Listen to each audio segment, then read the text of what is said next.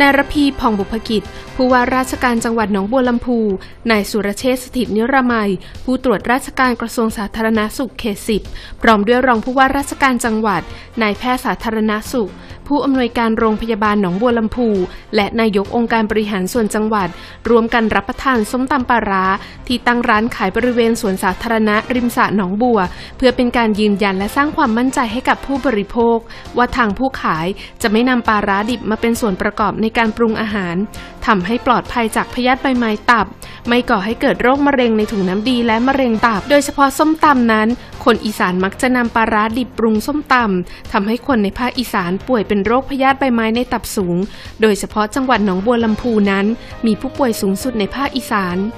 จาก 3 ปีที่ผ่านมาพบว่าสถิติการเสียชีวิตอันดับหนึ่งของจังหวัดหนองบัวลำพู คือเสียชีวิตจากโรคมะเร็งถุงน้ำดีและมะเร็งตับ และมีแนวโน้มเพิ่มสูงขึ้นทุกปี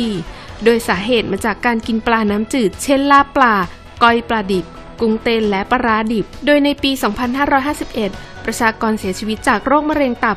282 คน หรือ 55.95 คน ต่อจำนวนประชากร 100,000 คน ปี 2552 ประชากรเสียชีวิตจากโรคมะเร็งตับ 284 คน หรือ 55.26 ต่อประชากร 100,000 คน ในปี 2553 ประชากรเสียชีวิตจากโรคมะเร็งตับ 289 คน หรือ 57.88 ต่อประชากร 100,000 คน ดังนั้นเพื่อเป็นการลดอัตราการเสียชีวิตของประชากรจากโรคมะเร็งตับ จึงขอความร่วมมือ ให้ร้านค้าส้มตำทั่วทั้งจังหวัด ต้มปลาร้าให้สุกก่อนนำมาปรุงอาหารนอกจากนั้น ผู้ว่าราชการจังหวัดหนองบัวลำพู และผู้ตรวจราชการกระทรวงสาธารณสุข ได้มอบป้าย ร้านนี้ปลาร้าต้มส้มตำแซบ ให้กับร้านส้มตำปลอดภัยอีกด้วยค่ะ